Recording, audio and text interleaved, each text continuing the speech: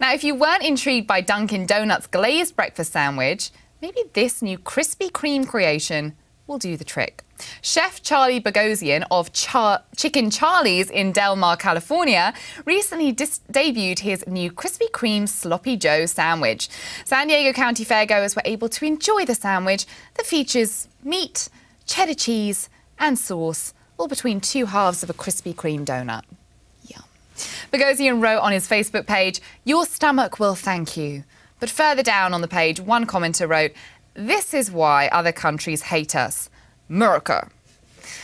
Other famous Boghosian creations include his deep fried Kool Aid and deep fried cereal.